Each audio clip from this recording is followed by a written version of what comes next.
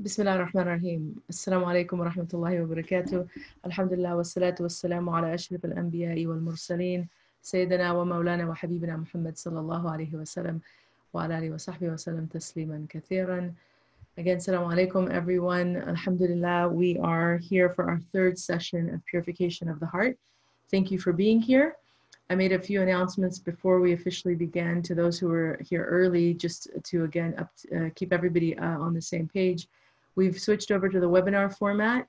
So the chat box is open and I invite you to participate via the chat box.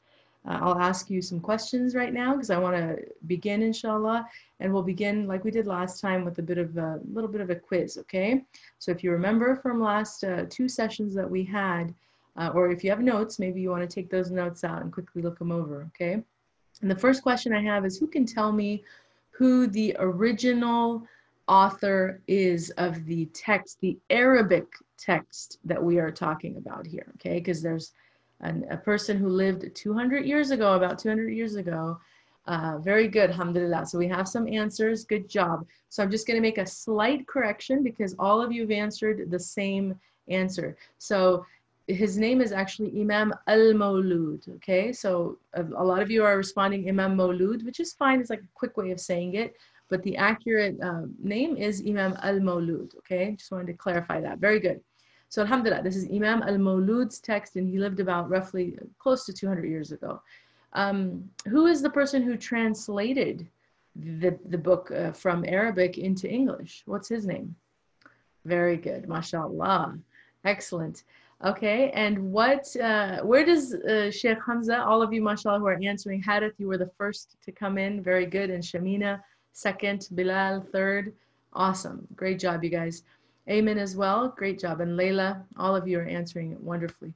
Uh, where does uh, Sheikh Hamza currently live? Where is he situated? What part of the world? Bay Area. Oh, there we go. We got Bay Area, and then we got Yassine with the correct answer. Berkeley. Very good. So he's in Berkeley. Uh, does he have a special, um, you know, place that he works at? And if so, what's the name of that place? Who can tell me the name of the place? Very good, mashallah. Amen. You came in there. And Hadith is Hadith, you, you said Zaytuna, but Amen got the full answer for Zaytuna College. Very good. Awesome, you guys. So did Yusuf, Bilal, Yassine um, as well. Awesome. Okay, so next, um, we, we right away talked about the uh, a certain number of hearts. Who can remember the very first heart that we talked about? Okay, there were a certain number um, of hearts. You can tell me if you want the number of hearts, but what was the first one that we covered? Very good, mashallah. So Ismail uh, answered eight. Awesome, good job, Ismail. And then Yassine came with the first heart as the dead heart. You guys are on it. Excellent. The first heart was in fact the dead heart. Very good. And what's the last heart called? If you can give me the Arabic name, even better. The last heart that we talked about. Very good. Amen came in with the sound heart. Awesome. And what's the Arabic of the sound heart? MashaAllah. Salim, very good. Shamina, awesome. Great job, you guys. You guys are doing really well. MashaAllah, tabarakallah. Okay, so um, we covered a few different uh, you know, diseases already. Who can remember the very first disease that we covered? The first one. Okay, Yassine came in with miserliness. Very good. What's the Arabic? Bilal, you answered me before I even finished that question. You are awesome. Great job. And Ihsan, very good. You guys know the Arabic terms. Awesome. Uh, what is um, the disease of the heart? Now I'm going to switch up the questions a little bit to try to pay attention to the definition, okay? What is the disease of the heart where you're too you can't control your uh, excitement and it makes you prideful it makes you maybe want to spend on things a little bit too much. It's like you can't control it it's too exciting and that leads to uh, extravagance uh, very good awesome afnan great job wantonness very good. What is the arabic uh, of wantonness called Afnan again, look at you, mashallah. Very good. That's so exciting when you guys get it right like that. Awesome. Okay, so there's another disease of the heart. I want I'm going to give you the Arabic term. I want you to quickly, okay, it's like lightning. Uh, you're gonna type it out, the English of it. What is the English meaning of the word bughd? Who can tell me? Bughd. Wow, Afnan, man, mashallah, you are just ahead of everybody right now, huh? You're coming really quick, super fast. Mashallah, you guys are awesome. Okay, next, this is the disease of the heart where you harm uh, people or things for no reason whatsoever. You're just not having a good day and you you you feel like you can hurt something. Awesome. Bilal came in with it with the word iniquity. Very good, Bilal. MashaAllah. Uh, who can tell me the uh, Arabic uh, name of that? Oh, mashallah, uh, Bilal, you were what? You're you're like right there with me. How you know what I was gonna ask, didn't you? Very good. We got Bilal, we have Ihsan and Afnan. You guys, all three of you got the word. It's baghi, baghi, right? Great job, you guys. I am so impressed, mashallah. Okay, this disease of the heart, the Prophet said in a hadith, he was worried that towards the end of time, we would be like the froth of the ocean. And he said we would have wahan in our hearts. And then the companion said, What's wahan, Ya Rasulullah? And he said, This disease of the heart. What is it? Very good, mashallah. Ihsan Beg. Awesome. Love of the world, hubba dunya. Now you're on it. See, that's what I love. Ihsan, you went with the English and the Arabic in one answer pay attention, you guys. That's a really smart way of getting the full answer, right? He's showing me he knows both. Great job, mashallah, tabarakallah. Okay, then we went on to another disease of the heart. This is when you see something in someone and you can't uh, control your desire for it and you actually want them to lose it. What is the Arabic of it? There we go, mashallah. Excellent. So Yasin got this. Ihsan again came through. Bilal, Shamina, all of you, you guys kind of all answered at the same time. It just came rolling in. Amen. Taslim, good job. Awesome. Very good. Alhamdulillah. Um, this is a disease of the heart that the Prophet ﷺ said it consumes your good actions like fire consumes wood. What is the name of that disease of the heart? Let's see who was paying attention. It consumes your good actions like fire consumes wood. Is it jealousy? Ah, I kind of tricked you guys there, and some of you fell for it. But Shamina, or I'm sorry, who is the, who did I see? Aisha came through. It is envy, you guys. Envy. Remember, envy and jealousy are kind of used, you know, oftentimes, uh, you know, to mean the same thing, but they are slightly different. Envy, you want the other person to lose what they have. Jealousy, you just want it, and you're insecure about things. Okay, so that's why where it comes from. Whereas envy is just really you know, about uh, having it and wanting the other person not to have it. So very good. And hasad, very good. Hadith, thank you, is the Arabic word for envy. Excellent. You guys are really doing wonderful. Mashallah, tabarakallah. Uh, what is, okay, this is the trick question, or not trick question. This is the bonus question. Let's see who can get the bonus. Okay, if you get this one, mashallah, khalas, you're really paying attention. So let's say Ahmed, I'm just making up someone. Ahmed sees Bilal. And Bilal is memorizing Quran and he's got juz Amma memorized and now he's on to the 29th juz and he's doing really good. And then Ahmed goes, Man, I wish I could be like Bilal. He's got so much Quran memorized. Why can't I do that? I'm going to go find a teacher and I'm going to do this. What is that called? Yes, Bilal got it. MashaAllah. How per- how perfect is that, right? Because Ahmed and Bilal. Bilal, you're you're on it, mashallah. This is ghibta. Okay, ghibta is what? Ghibta is a good form of uh, jealousy, right? It's when you're competing for good things. So when you're trying to gain knowledge, what's the other reason that the Prophet ﷺ said you can have ghibta for? So if you're, it's good jealousy, right? It's good to compete with with someone for this. So one is knowledge. What's the other thing? Who can remember? Come on, you guys can do it. You you've been doing amazing so far. Wisdom and knowledge kind of go hand in hand, right? Because you have to be wise, you know, or if you have knowledge, hopefully you're wise, right?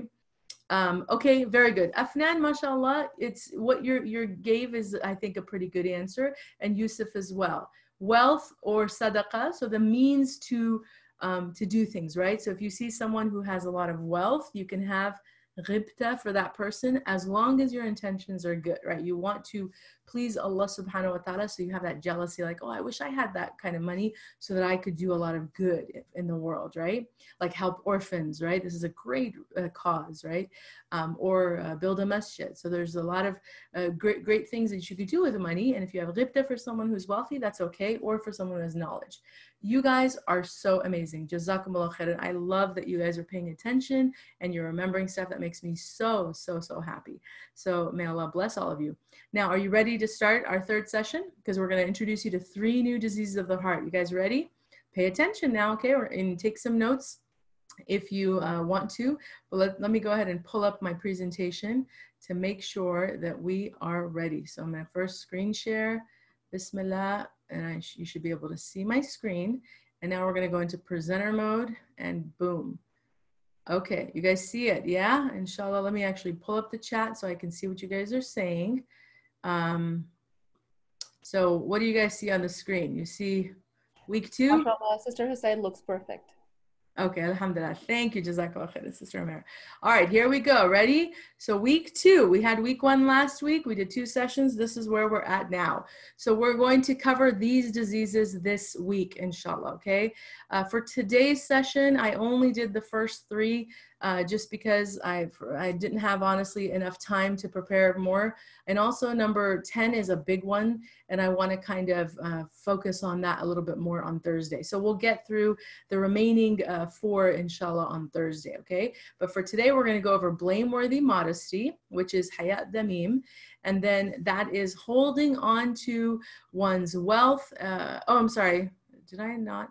Oh no, I think I unfortunately forgot to um, uh, cut and paste the proper uh, column here on the right. Let me go back to the previous slide. I hopefully have it here somewhere. We're just gonna do a quick rewind, rewind uh, to here. This is, uh, where did we go? Not here, here.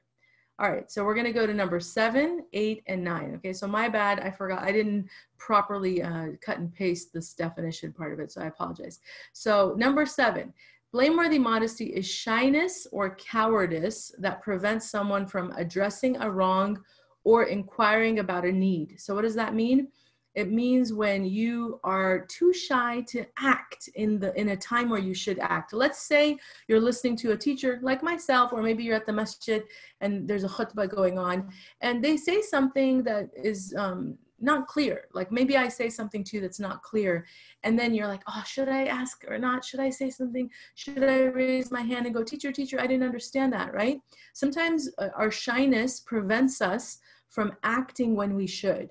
So we're going to talk more, but that's just a quick example of that, okay? Blameworthy thoughts. These are thinking about things that are prohibited okay? Like if you're just letting your mind kind of wander on and you're just thinking about things you shouldn't think about and we'll talk about what we mean with that okay? But anytime you have thoughts that are just really pointless or it's a waste of your time, that would fall under blameworthy thoughts. And then fear of poverty. So that is when you're so afraid of, you know, not having enough food or wealth or material things that it creates this anxiety in you and it almost basically kind of destroys the way that you live your life, right? A lot of people, and it's somewhat kind of could be tied to miserliness because if you have a fear of poverty, it might lead you to become someone who's hoarding their wealth right? Because it's like oh no i can't spend too much money because i you know i'm going to be poor or i'm going to not have a home to live in or and it, those thoughts can kind of just really take someone to a very dark place where they lose you know complete trust in allah subhanahu wa ta'ala. So we're going to talk about those three diseases uh, today. So let me now fast forward really quickly. Let's see how fast i can go okay? And i'm going to click as fast as i can okay? How fast was that? Ah, nope. Here we go. Here we go. Wrong one. Okay so here we are. We are on uh, again, blameworthy modesty. So, first, before we even get to blameworthy modesty, let's be clear about what the word modesty means, okay? So, Muslims, we know this word, it's a very big part of our faith, but sometimes we need to really have a broad understanding of modesty because it's not just about our clothing. Okay, a lot of times when we hear modesty, it's reference to dressing uh, modestly, right? But it's more than that. It's about being humble and not showing off. And when we say showing off, this obviously includes showing off our bodies, right? Which is why we dress, we cover, we dress modestly because we don't show off the things that are private, right? Allah subhanahu wa ta'ala told us to be modest in the way that we dress. So it's about not showing off our bodies or our good deeds, skills, strengths, whatever gifts Allah subhanahu wa ta'ala has given us, if He's blessed us with. If you're a modest person, you don't show off. Okay. Why? Because you're confident. You don't have a need or a reason to be a show off someone who shows off they're insecure right? They're insecure. They feel like i have to show this because then i get attention. And if i get attention it makes me feel good about myself Muslims, we don't look to other people for attention. We look to Allah subhanahu wa ta'ala. He's the only one whose opinion of us matters. So we don't feel the need to walk around and strut our stuff and, you know, uh, show our skin because a lot of people in this culture, right, you see them all the blah. And as the temperatures get warmer, they start, you know, wearing inappropriate clothing, right? And when they do that, our job as Muslims, because we don't judge people, right? We do not judge people. We say that leave everybody to Allah subhanahu wa ta'ala. And I have actually a really good story that that um, I'm going to share in a moment about not judging people. Um, but, but but when, when we see someone who's dressed in an inappropriate way, we show our modesty by what? Lowering our gaze, right? So here Allah subhanahu wa ta'ala tells us, tell believing men to lower their glances and guard their private parts, right? So you lower your uh, eyes so that you don't see things that are immodest. And you also cover yourself, right? You, you cover your area, private area. That is pure for them. God is well aware of everything they do. And then say to the believing women, oh, excuse me. Ah, where am I? Sorry, you guys. I'm butterfingers here. Okay. Um, ah, I'm trying to move this uh, little chat box because it's in the way of the text, so I apologize. Okay, so say to the believing women that they should lower their gaze and guard their modesty, that they should not display their beauty and, um, and ornaments except what must ordinarily appear, right? Our hands, our face, uh, that they should draw their veils over their bosom. So you see, we're our hijab, we cover ourselves, right? This is how Allah subhanahu wa ta'ala instructs Muslim men and women to dress. We dress in a modest way, right? And I'm just going to quickly tell you guys a story that this really actually happened to me. I was once um, uh, at an airport. And this was a long time ago where I was younger and I didn't know a lot of things. And I thought that, you know, I'm better than people because I was wearing hijab. And so I did. I kind of let my arrogance, self righteousness, which we'll talk about, right? Which sometimes you get a little too, uh, you think of yourself as better. And this is dangerous. It's a disease of the heart. But if you don't know it's a disease of the heart, then you can have it. So when I was much, much younger, this happened to me where I was in hijab and I was at the airport and I was waiting for my ride, and all of a sudden I see this woman, and she gets out of her car. You know, she's, uh, you know, when you're at the airport and you're waiting for people to pick you up, you have to kind of wait there, and all these cars are coming and going. So she got out of her car and she was dressed very uh, inappropriately. She was wearing shorts, uh, very short shorts, and like, you know, a tank top.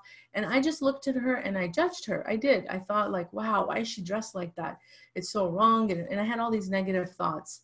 And then, subhanAllah, she ended up, it was kind of a, it was a very strange experience for me because I'm just waiting there. I don't know her. She's a stranger, but she ended up closing the trunk of her car and she saw me. And then she started walking towards me. So I'm like, whoa, what's going on? Why is this woman who's like a stranger walking to me, right? What is she going to say? And I'm like, you know, so I kind of was like a little like, you know, just uh, paranoid, like what's going to happen now? All of a sudden she comes and she stands in a very humbled state very humble. She has her head down and she goes salam alaikum. Uh, i know i'm not dressed very appropriately. Uh, you know may allah forgive me. I'm a muslim i'm a convert and i'm raising my son to be a muslim. I saw you and i was so happy because i thought maybe you can help me give me some recommendations for children's book because I want to raise my son as a Muslim. So she's saying all of this stuff to me, subhanAllah, right? She's not dressed modestly. I'm dressed modestly, but this is where we look at the hearts, right? Her heart was in such a good state because she recognized her mistake. She was humble and she wanted to be better but I let arrogance in my heart, right? I thought I was better and I was judging her. And then Allah, He's the one who made this whole event happen, right? She, I, there's no way I would have ever thought she was a Muslim the way she was dressed. But Allah wanted me to have that experience because it did. It changed my mind about a lot of things. I, I started to really look at my heart more and say, Oh, Sai, how could you have let your heart become so filled with arrogance that you walk around judging people because of the way that they're dressed, right? That's not for you to do. You, you don't judge people. We don't judge people. We, we know what's right and what's wrong, but we leave the the judgment to Allah subhanahu wa ta'ala, right? There he's the only one who judges. So when we say that yes, we live in a society where a lot of people are not dressed appropriately, our job is not to look down on them because they don't know. Many times people don't know. This uh, woman, she was a convert and she was trying to be better. So, you know, just like Islam took uh, 23 years to complete, some people, they take time getting good habits. So we just have to leave the judgment alone. But what we do, instead of judging them, we turn our gaze away and we wish well for them, that Allah guides them okay? So that's what this hadith is telling us to lower your gaze. Don't you know judge other people lower your gaze. And i wanted to share that story so that you have an example of when sometimes it's not black so black and white. You know you might see a muslim and think oh they're amazing and then you see someone dressed like that and think look at them. But uh, if you really you know judge that situation who was who was better and who wasn't right? She was much better than me and that was a humbling moment for me and i'm so grateful to allah that he did that for me because it literally changed everything. My perception of everything was different then. I started looking at the diseases of the heart and realizing i had a lot of them. And that's uh, how i uh, alhamdulillah benefited from this amazing uh, science of, of you know purification of the heart. So alhamdulillah. Okay. So now what else uh, do we know about modesty? Okay. Here we have another hadith where Qura ibn Iyas reported that we were once with the Messenger of Allah وسلم, when modesty was mentioned to him. And uh, someone said, Oh, Messenger of Allah, is modesty part of faith? And the Prophet said, What? Rather, it is the entire religion. SubhanAllah. So, this is a very big part of being a Muslim. Then he said, Verily, modesty, abstinence, reticence of the tongue, but not the heart and deeds are all part of faith. They bring gain in the hereafter and loss in the world. What is gained in the hereafter is much greater than what is missed in the world. So, why did I put that phrase, reticence of the tongue but not the heart, in yellow? Because this is telling us that reticence means when you're holding back, right? You're holding back. Um, we should hold back with our tongues when we, uh, you know, maybe there's a situation and that that uh, you know we don't like or you know that w- where the judgment might take over we shouldn't comment but not in our heart our, in our heart we should be very clear about what's right and what's wrong okay? And that kind of ties into what blameworthy modesty is. So let's uh, be a little bit more clear here. So again modesty is something a whole religion every part of us we should uh, i mean our part of our faith thing is uh, modesty is a big part of that but it, we have to understand that this um, quality has to be in balance, right? Between one's spiritual heart and one's conscience. So here we have praiseworthy modesty activates the conscience, right? And protects the spiritual heart. It helps one to lower the gaze, protect the heart from being exposed to things that bring it harm. But blameworthy modesty impairs the conscience and by extension the spiritual heart. It prevents one from acting or speaking up when it is necessary, and it invites cowardice into the heart to become a coward, right? That's what blameworthy modesty does. You're, you're not very courageous when you have blameworthy modesty, and this is not part of our faith. We should be people of courage with Allah subhanahu wa ta'ala, right? So let's look again at some examples. So, for example, as I said earlier, not asking questions about one's deen out of shyness. So if you're ever not clear about something, but because you don't want to embarrass yourself with your friends in the class, or you, you know, maybe in a situation where you don't know all the students, you feel a little awkward about talking, remember this. You don't want to have blameworthy modesty. It's much more important that you speak up and you don't have to speak up right then and there. Maybe after the class right you can go to the teacher and say um, mr or you know sister or brother or who you know sheikh or sheikha um, i didn't understand when you said this. Can you please explain it to me?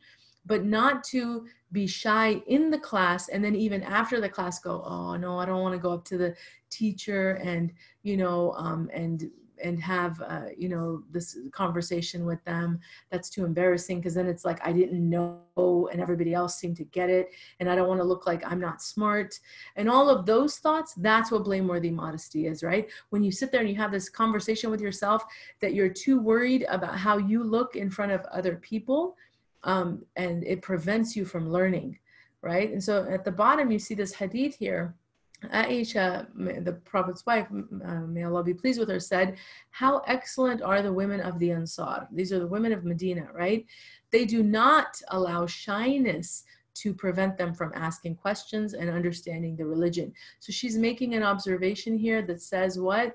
That look at how amazing these women of the Ansar are. They uh, ask their questions. They're not clear about something. They're not going to go, oh, I'm just going to it's okay i'll pretend like i understood it right? And it this doesn't have to just be for religion you know let's say you're in a math class or you're in another class um, you know you should you know have the courage to always if there's some some knowledge that's being taught to you and you don't get it to uh, make that a priority instead of yourself, right? It's not about how you appear because very wise people are okay admitting that they don't know. Imam Malik, who was one of the great four imams uh, of, you know, of the schools of fiqh that we have, he was known to very commonly say, I don't know. When people would ask him questions, he would say, I don't know. And this shows not that he doesn't have knowledge, but the opposite, that he's actually very wise. And he had, I mean, he was very, very knowledgeable. He's one of the great Imams, but he had the humility to know when he didn't know, right? And so we shouldn't let our shyness of not knowing prevent us from knowing. That's what blameworthy modesty is. One example. Another is not standing up for someone who's being wronged. So if you see a situation, let's say there's a bully, right? And he's bullying or she's bullying someone and you're just standing there. You know it's wrong but uh, you can't find the courage to say something right or to do something to put a stop to it.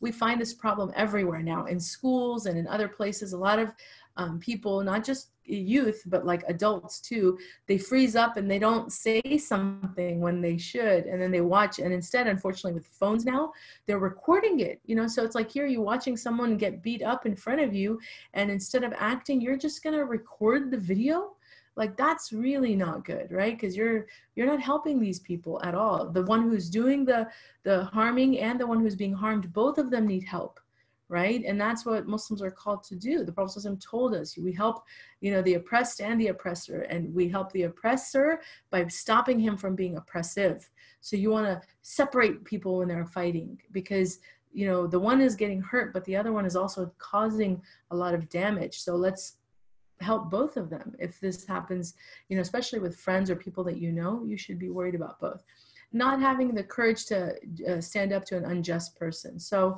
in the first situation, you're not protecting someone who's being harmed, but in the next situation, it's where you you're not confronting that person who's doing the bullying, right? And saying, "Listen, what you're doing is wrong and you need to stop it." This is all, you know, part of again um, what what can take over someone if they have blameworthy modesty and then also not participating in something worth worthwhile and beneficial out of shyness so this is similar to um, you know what we've talked about, which is you see something either that's harmful that you should address or that's beneficial, but your shyness prevents you from getting it, like the knowledge, right? Or let's say you, you know, everybody, uh, all of your cousins and friends want to go somewhere and um, maybe you uh, you're kind of like let's say they want to go roller skating okay? And you've never roller skated before but the idea of it is like oh man i don't want to do it because I, I don't know how to do it and i don't want to go and embarrass myself.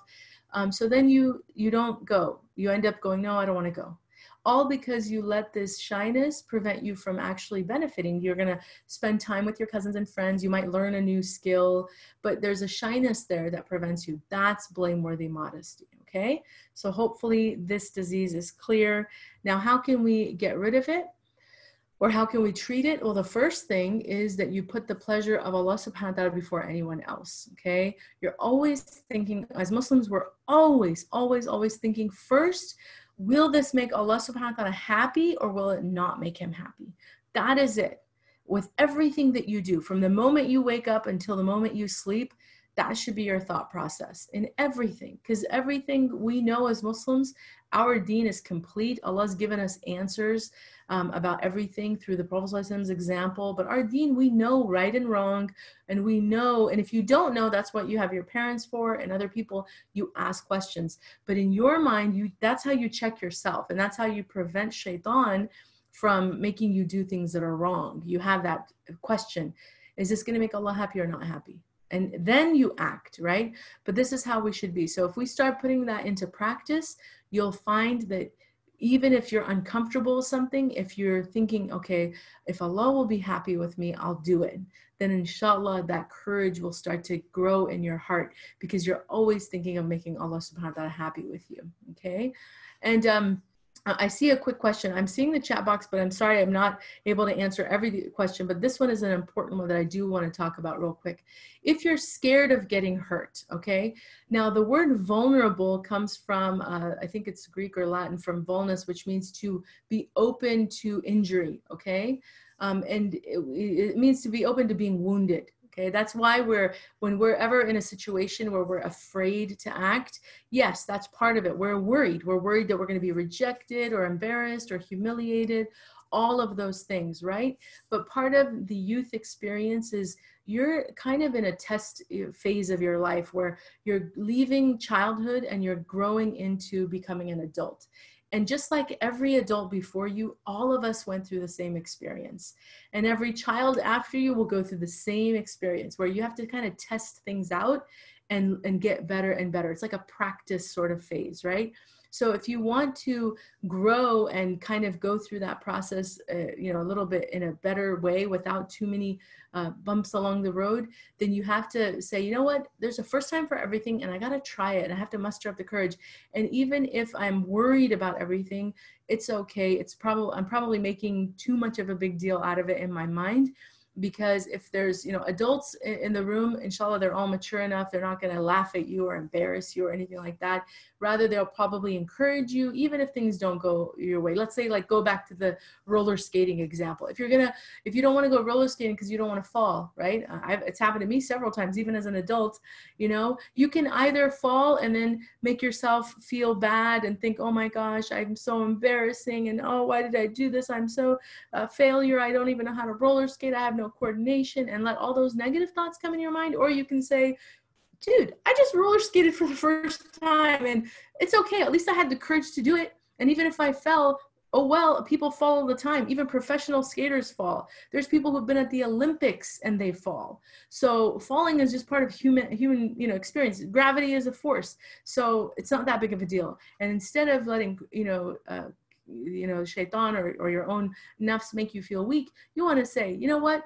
let's just get back up and laugh it off. It's no big deal, whatever. You know, when I used to do it when I was a kid, I would always like if I tripped over something, I would always pretend like it was a new dance move. So I would just be like, "Oh yeah, check it out. That was that was just me being cool," and I would just say something silly, and then everybody would laugh, right? Because my attitude was, "I'm not embarrassed by this. I'm a human and it's okay to fall or have, you know, slip here and there. Even if you're talking, like I've been speaking publicly for a long time. Sometimes when you first start off, you, you get nervous and you're like, uh, uh, uh, buh, buh, buh, and you say things like that. It's okay because the more you do it, the better you get at it. And then you look back at those times, you just laugh like, oh yeah, that was me uh, practicing, you know, it was my practice runs. And it's okay to, to have those experiences. So you got to get out of that mentality that, oh my gosh, I'm, I'm gonna, I'm so scared of being looked at and embarrassed. Strong people are like, you know what? It's okay. It happens. Or, you know, I'm just going to keep trying, uh, push forward. Okay. So thank you for that question. Now, another uh, thing to get rid of this is to ask questions when you don't understand something. Force yourself, get into that habit. I don't get it. I need more clarity because you know what? It's not that you necessarily have a, you know, like you don't, you didn't understand it and you're, there's something wrong with the way that your brain worked. What if it's the teacher? What if the teacher didn't explain things correctly? I'm a teacher. Certainly, we are not perfect. There's times where we don't do a good job explaining something. So the students are confused. That's our fault. That's not your fault. So what you want to do is if any time you don't understand something, ask with humility, right? Don't assume that the teacher just failed to explain it right. Just ask with humility and say, teacher, I'm sorry, I didn't quite understand something But remember that it might not be that you didn't understand it well, it might be that the teacher didn't explain it well. By asking with humility and uh, adab, this is always good, you allow the teacher to correct themselves, right? The teacher will come back and uh, and hopefully explain it better for you inshallah. So but find that courage to be i'm going to ask that question okay? And then practice more courage and use judgment when you see something wrong or an injustice. For example you know i said about the bullying thing. If you're seeing a situation where there's a physical fight you don't have to jump in okay? Uh, what i said earlier about stopping the fight and separating the people i'm not saying to necessarily get into the fight and hurt yourself or get hurt. You don't need to do that the judgment comes in to say this is wrong. And instead of watching it happen and freezing like oh my gosh this is whoa this is crazy. I'm just going to watch it. The judgment says this is wrong. I need to go get an adult. And you you're the one that leaves your backpack tells a friend watch this. I have to go run and you go get the nearest teacher and say teacher teacher come here there's a fight happening that is being a, a wise person because what you're doing is saying i don't want to just let this happen and unfold and have an injury and someone really get hurt I know there's been some really terrible accidents.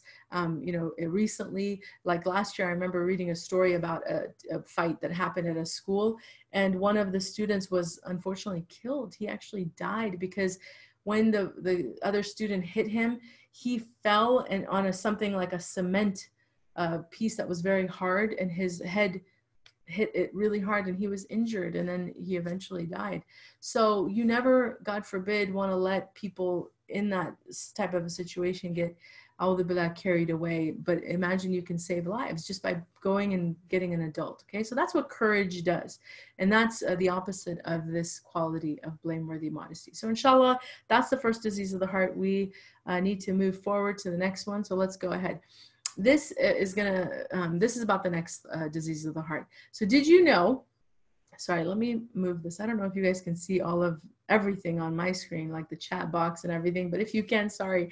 So did you know that the average person, average person means, you know, you can't obviously go around um, asking every single person on the planet. So what we do is we just kind of take a, a poll and then determine how many people from that group of people this would apply to. So the average person has about 12,000 to 60,000 thoughts per day. That's a lot of thoughts right? If you think about it from the moment you wake up until you sleep, you're thinking all the time. Your brain never really shuts off. Even when you're watching something like on TV or uh, playing a, game, your well, for playing a game, your brain is definitely active. But if you're doing something more passive, like watching a show or a, a film, your brain is very active because it's understanding everything, it's processing everything, it's taking all those images in, right? So there's a lot of activity and thoughts that are happening.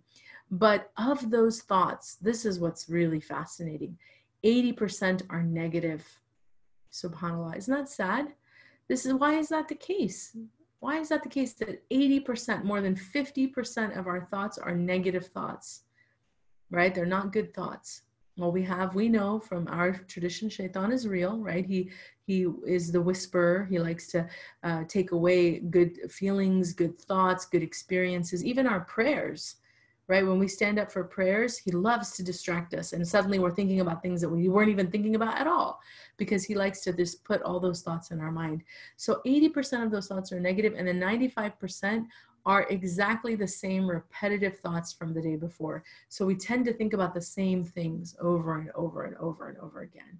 This is the human being. This is why, you know, we say Allah subhanahu wa ta'ala created us with these, you know, issues and we have to do the work of uh, purification of the heart and of, of the you know of the uh, of the mind and of the tongue and all of the things that we have we have to purify uh, our thoughts. We have to purify these things and there's ways to do that inshallah.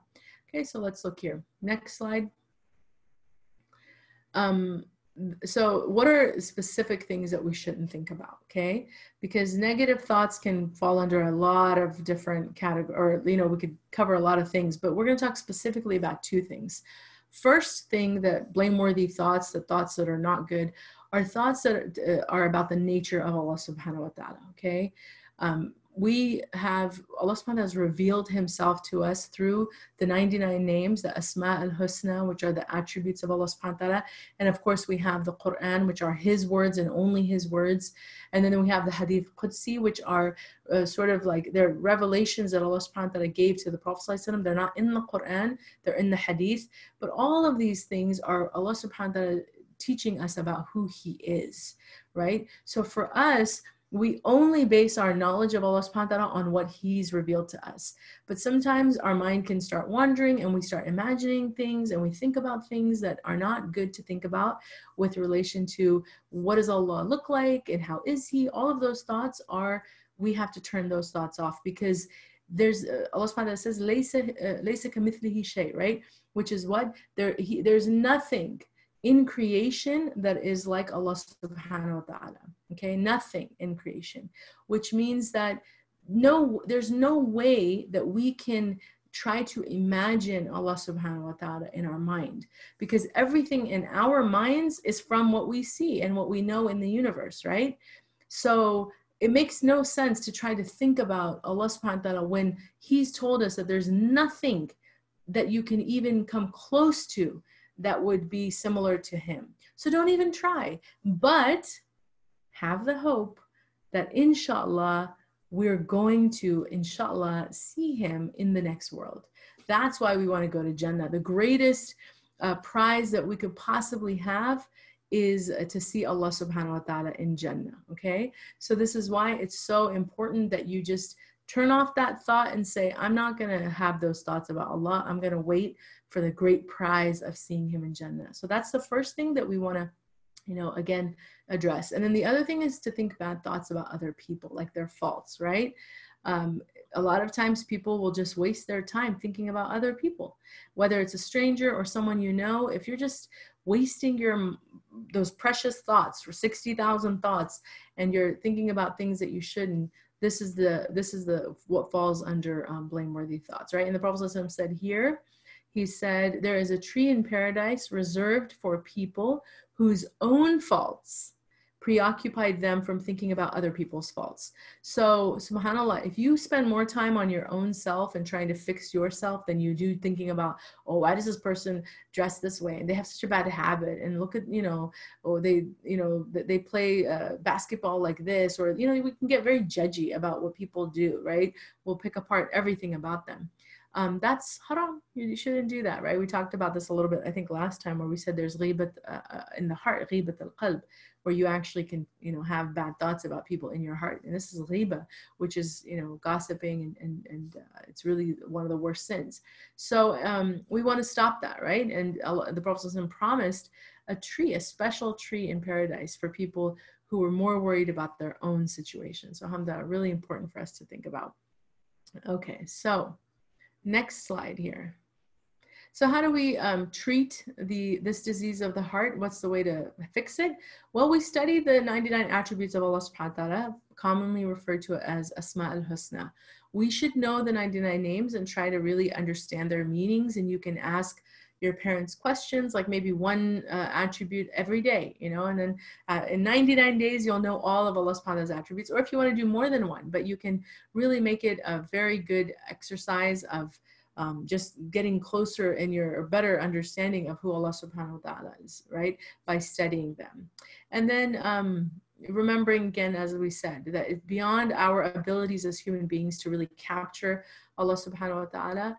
Um, so we shouldn't even bother. But at least if we try to connect to Allah subhanahu through his attributes, it will deepen our love for him and it'll help us to again follow his commands and prepares us for the hereafter where we hope to see Allah subhanahu wa ta'ala. And, and finally, all the questions that you have about, well, this doesn't make sense and I never understood this, you can ask him then, inshallah.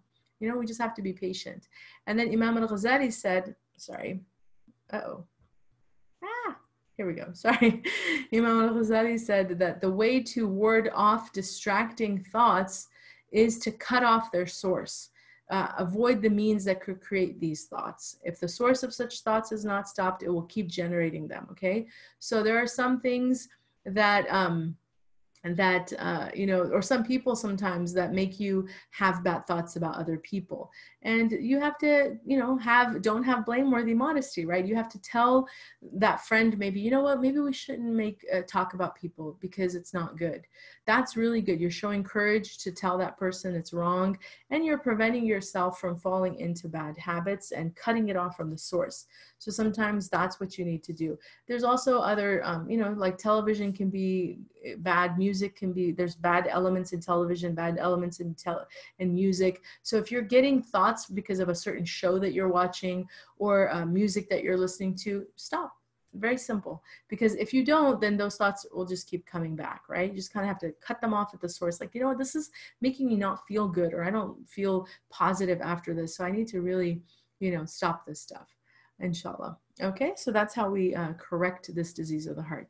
So the next one is, let's see here, Bismillah. Um, the next disease of the heart is fear of poverty. Okay, khawf al faqr. So let's talk about what this is. Well, first, Allah subhanahu wa ta'ala says to us in Surah Al Baqarah, He says, Those who in charity spend of their good deeds by night and by day, in secret and in public, have their reward with their Lord. On them shall be no fear nor shall they grieve. So Allah subhanahu is telling us right here, whoever does, you know, good deeds, we spend in charity and we do our, uh, you know, our good works in, in secret and in public. Maybe there's times where we want to show good works because we want to encourage other people, but then there's other times where we just go more inwardly and it's more private in both of their uh, situations our reward is with allah and he is telling us we, if you do these things and you do them the right way the way that the prophet ﷺ taught us you won't have any fear. There's nothing to be afraid of because you understand that allah subhanahu wa ta'ala is always with you right? And that he's the one who uh, blesses us and, and he, he gives us uh, all of our rizq, our food, our water, our clothing, our shelter, our families, all of the things that we have are from Allah. He distributes them to everybody.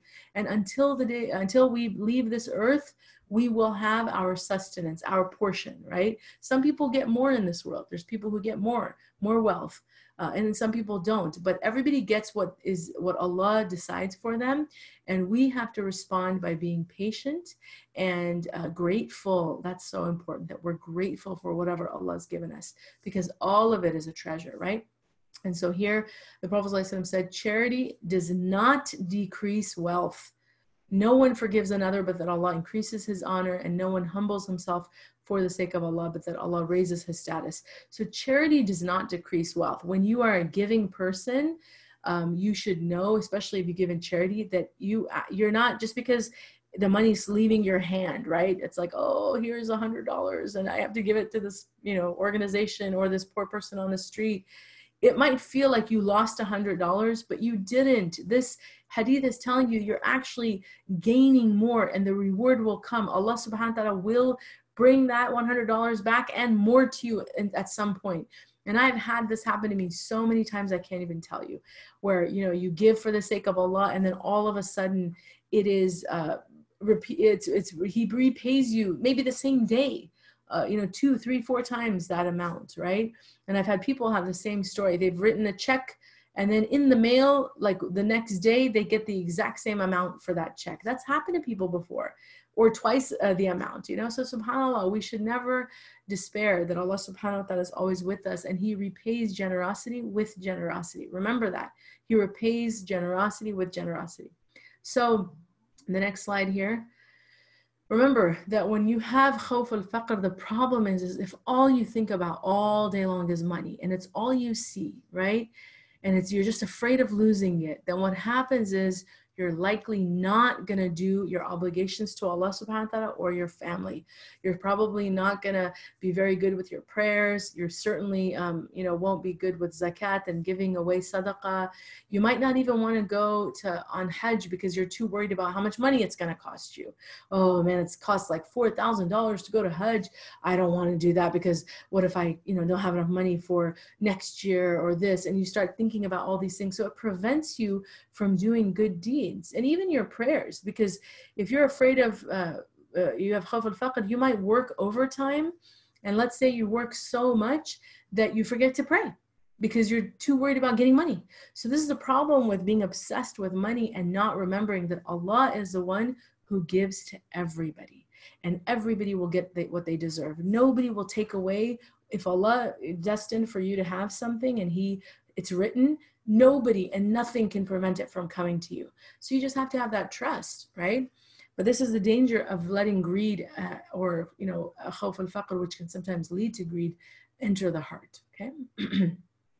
so uh, another thing to also remember, excuse me, is this uh, verse from the Quran where Allah subhanahu wa ta'ala says, Take from their wealth a charity by which you cleanse them and purify them and invoke blessings upon them. What does this mean?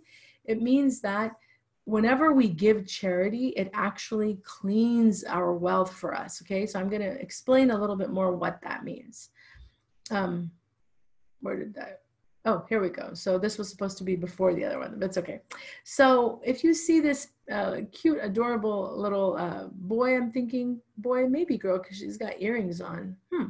So let's just assume boy or girl. Either way, it doesn't matter what is uh let's you know he doing right? He's washing these these clothes okay? He's washing them with his hand most of us we probably have never done this because our parents are taking care of our laundry. They put it in the washing machine it comes out magically clean right but if you really think about it, when we play, right, on the left side, let's read. Sometimes when we play, we get our clothes dirty in the mud. Sometimes when we eat, we get stains on our clothes from food.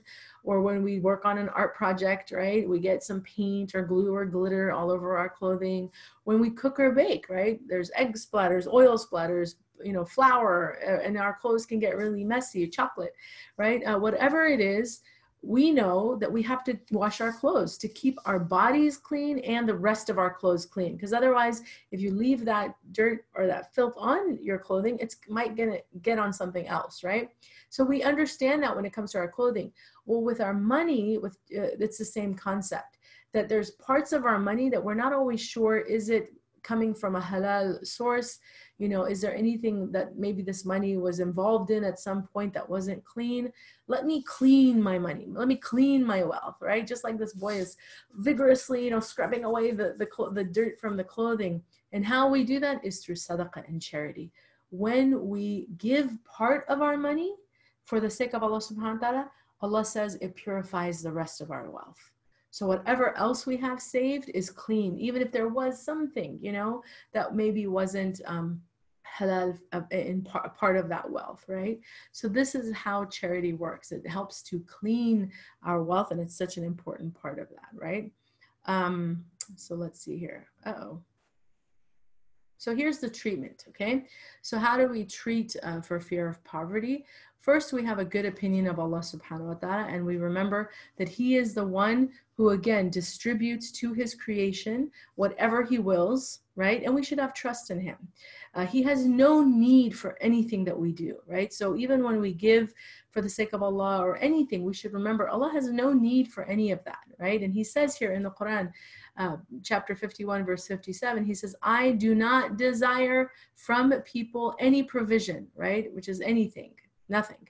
Nor do I desire that they feed me. So nothing we're doing is increasing Allah subhanahu wa ta'ala. He is above all of this, everything, right? He's not a human. He doesn't have needs the way we have needs. So when we do something for his sake, we have to put, uh, you know, remember that he, uh, you know, we're not losing anything, right?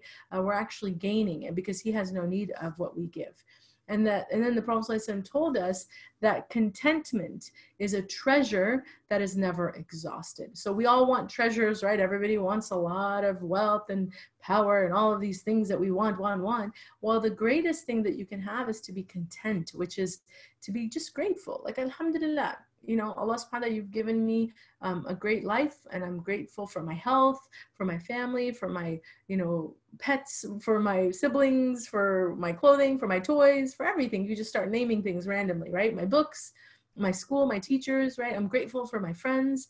So to be in a state of uh, contentment, it's like this treasure. You just, wow, there's so much of it, right? But you have to do that as an exercise. You have to think about all the things that he's given you and really sit there and go, wow, I have so much to be thankful for, right? Because there's a lot of people who had everything and then boom, something might have happened where they've lost things and they spend the rest of their life saying, you know, I wish I could have those things back. And they might be simple things that we take for granted, things that we don't even realize. You know, I remember like my teacher, uh, Sheikh Hamza, actually, he talked to us about, you know, think about like eyelashes, you know, how many of us have actually sat and thought, subhanallah we should be so grateful for eyelashes because they're so tiny they're so small and we have them we were born with them but they have a huge function because without eyelashes um, things can get into your eyes. There's a lot of problems and then you can't see very well. There's people who have to constantly lubricate their eyes and keep them moist um, because they don't have you know protection from these eyelashes. So there's things that uh, same with the hairs in our nose the hairs in our nose are so important because they protect us from having problems when we breathe. But how many of us, you know, look to that and go, wow, thank God I have hairs in my nose, right? Because who thinks like that? But if you actually think about if I didn't have these hairs in my nose and all the green stuff inside of it that traps the dust particles, that's what those things are, right? The B word. You guys know what I'm talking about. People pick at them. It's ugh, gross. But anyway, it's another conversation. But those things are important to our health because if we didn't have those, then all of those, the dust that is in the air would go into our lungs and we'd be coughing all the time. So do you see how Allah subhanahu has created us with this incredible machine where if you start thinking about all of its parts it's like wow wow wow wow wow amazing even the heart you know how much blood it, it like uh, pumps out i don't know how many gallons hundreds of gallons of blood every day or maybe thousands it's a lot of blood that the heart is pumping through our system.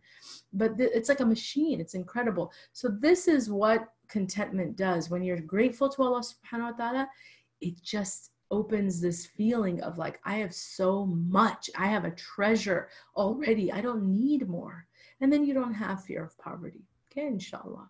So that is the session for today, you guys. Alhamdulillah. Um, those are the first, uh, the three that we're covering today. I want to hear from you. So we have a few minutes left, very few. I'll take uh, some questions if you have. I know there was a lot of conversation as we were going, um, but let's see if there's any questions about what we've covered. If you want to retype your question in the few minutes we have, I'm happy to um, to answer your questions. Okay, Bismillah. And then just a heads up about next week. I think I have, um, let me see. No, that's, so next week we will go over, I'm not, sorry, not next week, on Thursday. Ooh, we'll go over ostentation, relying on other than God, displeasure with divine decree and seeking reputation. Heads up, just for FYI. But let me go ahead and stop screen share here and we can now talk, um, inshallah.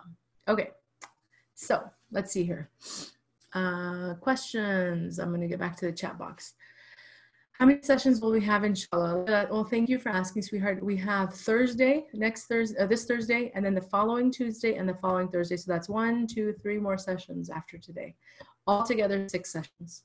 And if for whatever reason um, we may need to add one more because we don't finish them all, I'll let you guys know uh, if it's a possible seventh session. But for now, three more sessions, inshallah. Okay. Okay, so quick questions here. Uh, what if you're terrified of losing something other than money? So very good question. Um, you know, if you're afraid of in this world, you have to remember that Allah subhanahu wa ta'ala, if you're if you ever lose something of value or important to you in this world, inshallah you have the hope of, you know, be patient with that loss because there's you know nothing happens in vain, which means there's always a wisdom of why things happen to us in this world. Always. And you have to remember that Allah knows what's best for you. So maybe in that loss, uh, something really good can happen, right? For example, I'll tell you, um, there, you know, there's that organization called uh, MAD, Mothers Against Drunk Drivers, right? There was a, a, mother, I'm assuming, I think it was a mother, but she, her, she lost her child in a car accident because of a drunk driver. So what did she do? She took that energy, right? That terrible loss. It was a horrible thing to lose a child is the, one of the worst things that person can go through. But instead of you know doing just being in a state of sadness for her whole life she said i am going to make sure nobody ever experiences what i went through. And she started this organization called mad and now it's international i think or definitely national but everybody knows it and it's to prevent people from drinking alcohol and driving. So she took that loss and did this amazing thing that's helped millions and maybe billions of people in the world. So you can turn loss into something positive if you always have a good opinion of Allah, that if He took something from you, there's a reason for it. And inshallah, with your patience, He'll replace it with something better and he'll use you to do a lot of good with it if you're patient. But if you think like oh no i've lost it and now the world is over and I, i'm going to fall into a state of depression then you're forgetting that allah is uh, you know he, he can uh, give you anything you want and you have to turn back to him and just ask him to give you patience with that loss and to replace it for something with something better for you in this world or, and or and reward you in the next world with it as well. Because you know some things are hard on us you know um, uh, I lost, for example, my pet. Uh, uh, how many years ago? Maybe nine years ago. And I think about her all the time. And it hurts. It hurts because I loved her and it was a difficult circumstance. But I'm hopeful that inshallah she's going to be with me in Jannah. I really do. I pray that Allah subhanahu wa ta'ala helps uh, bring her to me in Jannah and I get to see her. So I always hold on to that hope.